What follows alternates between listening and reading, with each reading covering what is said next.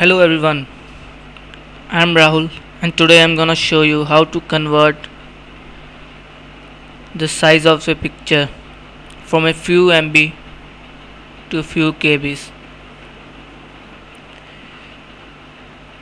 You can do it very simply, you don't need any special software, you can do it with MS Paint.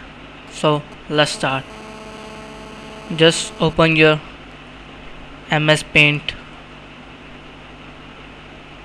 And then open the image you want to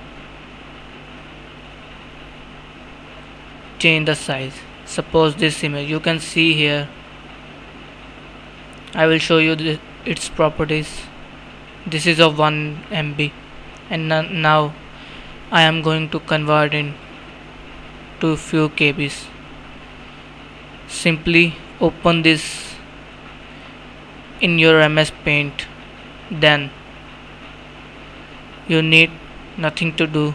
Just save as this as a GIF file and name it.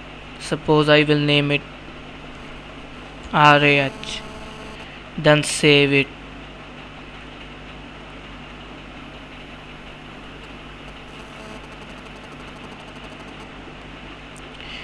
now you can see that file has been saved and the size of it. This is only 223 kbs. So that was pretty easy. Please do subscribe if you like this video and share it. Thanks. Take care